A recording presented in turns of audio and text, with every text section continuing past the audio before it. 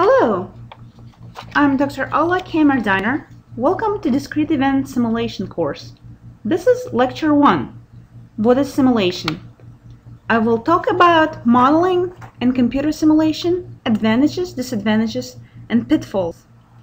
Simulation is a very broad term. It covers methods and applications to imitate or mimic real systems, usually via computers and it applies in many fields and industries and is a very popular and powerful tool.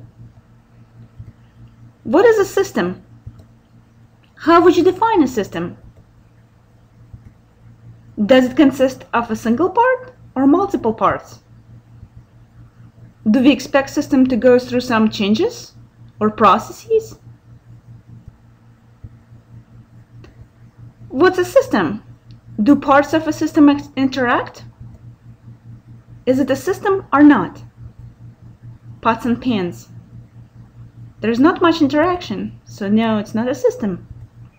A clock. Parts of a clock work together, so it's a system.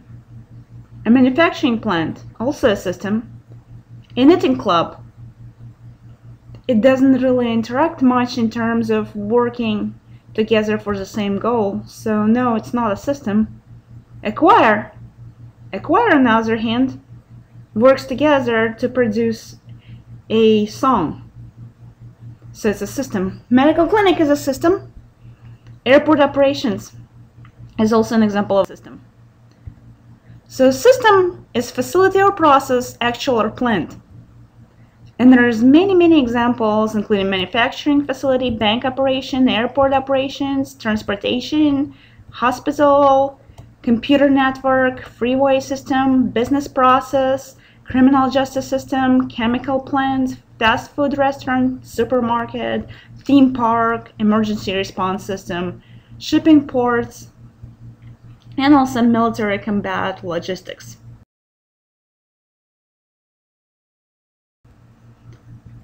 How can we work with the system? It's often important to study the system so we can measure it, improve, design, and control it. It would be nice if we could uh, maybe just play with actual system uh, because an advantage is unquestionably you're looking at the right thing. But often it's impossible in reality to work with the actual system. The system may not exist or it could be disruptive expensive, or dangerous.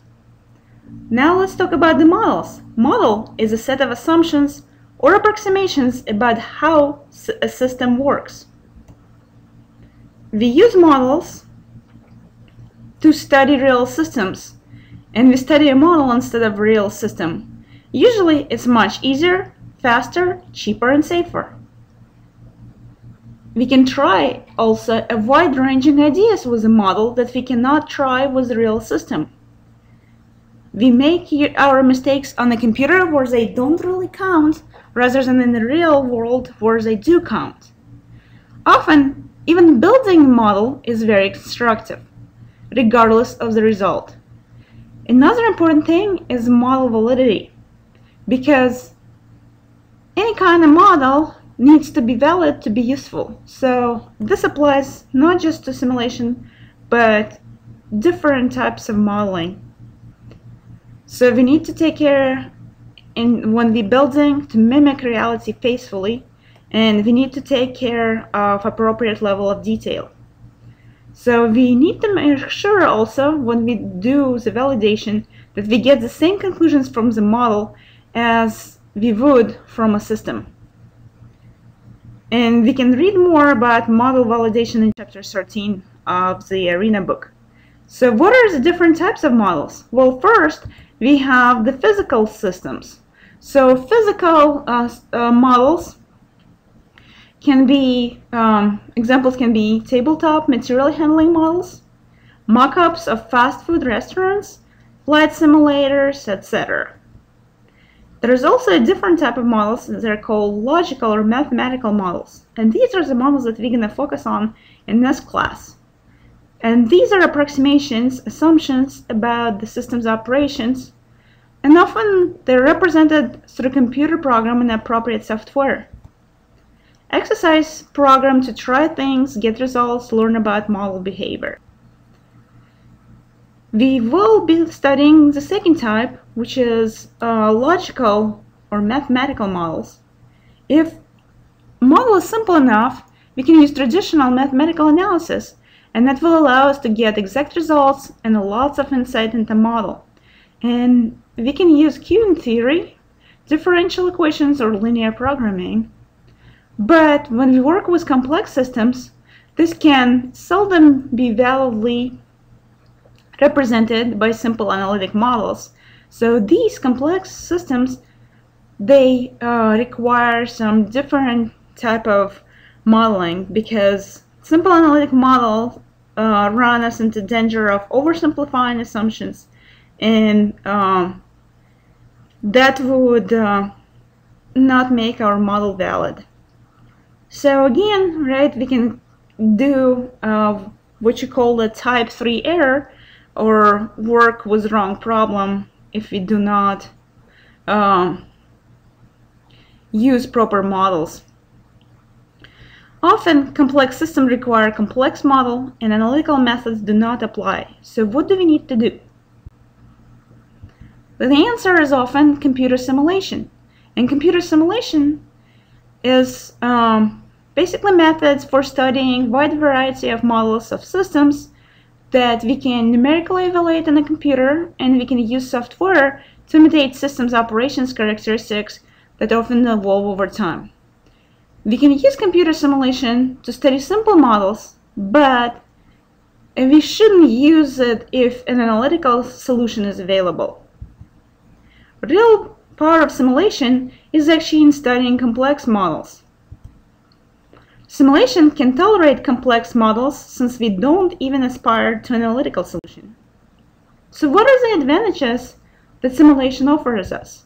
Well, one of the big advantages is being flexible and being able to model precisely what we want.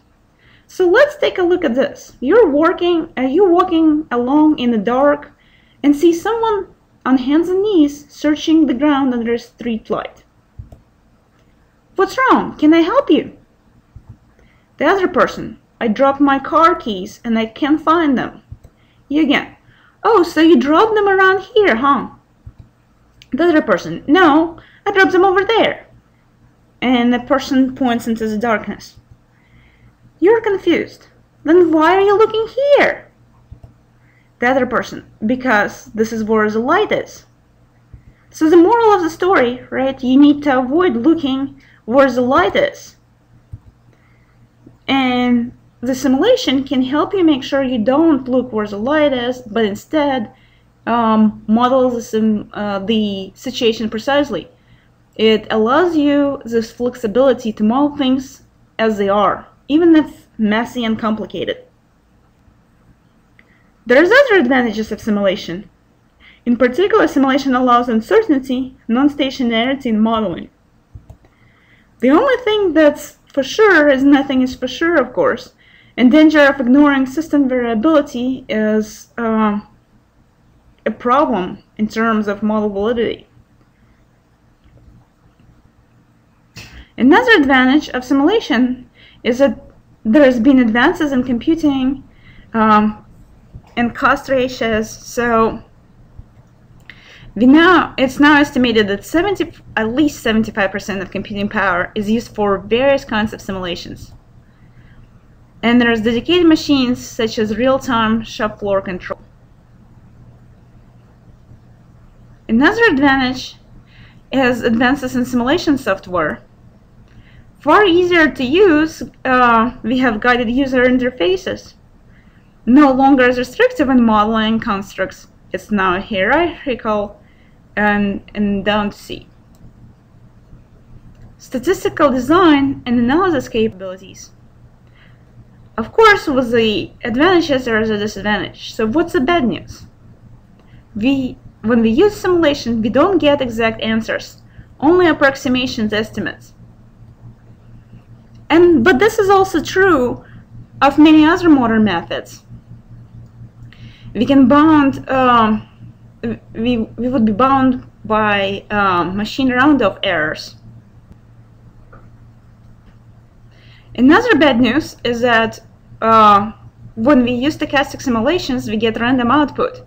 So this is random input, random output situation.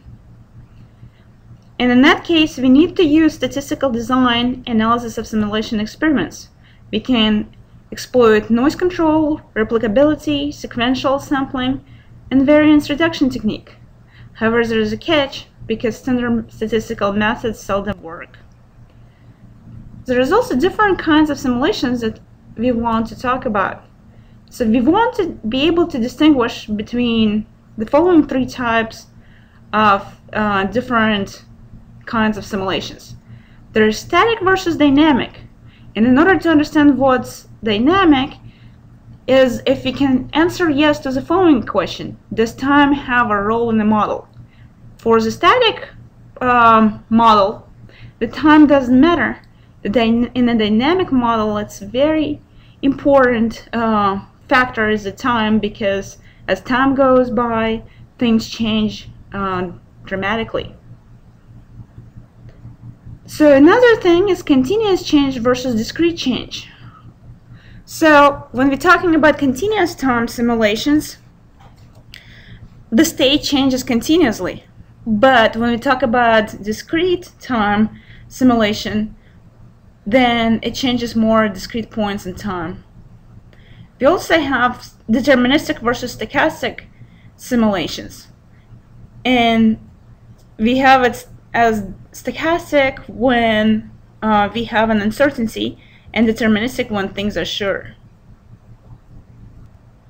So overall, most operational models are dynamic, discrete time, stochastic.